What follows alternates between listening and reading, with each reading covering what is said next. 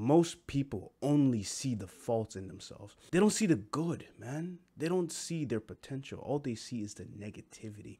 I think social media is not a big part of it because you're comparing your life to other people's highlight reel, and that's like a horrible thing. And there's a quote I want to read out right now.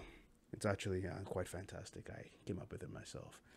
The quote as goes, You're going to hear a negative thought.